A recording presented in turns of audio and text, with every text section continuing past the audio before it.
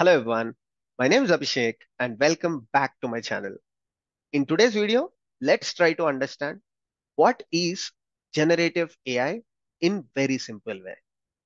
If you are a software engineer or a student, you would have definitely heard about this term called generative AI at least once in the last 12 months. Of course, the reason is quite obvious because of ChatGPT. But what if I tell you that ChatGPT is just a tip of iceberg. ChatGPT uses LLMs or GPTs, which is just one part of generative AI. Okay, so what is generative AI? Let's come to that. Generative AI is a type of artificial intelligence which is capable of creating or generating new content.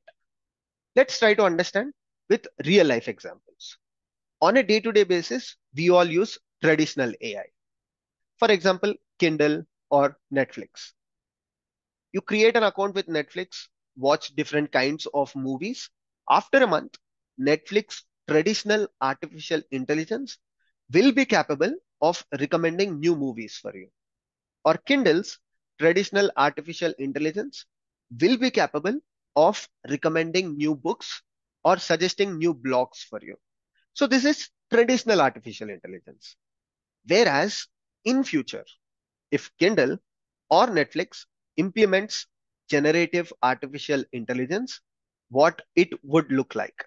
Let me explain. So the Netflix generative AI can be so powerful that it can create a new movie or a web series depending upon your watching preference. So after spending one month on Netflix, Netflix generative AI can understand what sort of data or what kind of content are you consuming and it can create a new movie altogether for you. Or Kindle's generative AI can be so powerful that it can create or it can write a new blog or a new book according to your reading preference. So generative AI can be such powerful. Now, okay, this is about future. Can we talk about the generative AI real life use cases that are available as of today? Of course, ChatGPT. Like I told you, ChatGPT is just one type of generative AI which uses LLMs. So ChatGPT is majorly focused on text-based generative AI, which is it is based on LLMs and GPTs, where if you ask ChatGPT to write a Python script for your use case. Probably this use case of Python script that you are asking ChatGPT is not available anywhere on the internet, but it can write a new Python script for you. Why? Because it is based on generative AI. For example, Midjourney. Midjourney is another sort of generative AI. It is based on GANs and Midjourney is capable of creating a new image or a picture that does not exist on internet. So you can ask Midjourney to create image of a person who is eating burger. So Midjourney creates a new image that does not exist on internet. So in a short, how does this happen? Basically, Midjourney uses GAN where there is a generator and there is a discriminator so generator tries to create new content and discriminator provides feedback. So it tells generator, okay, you can be much better.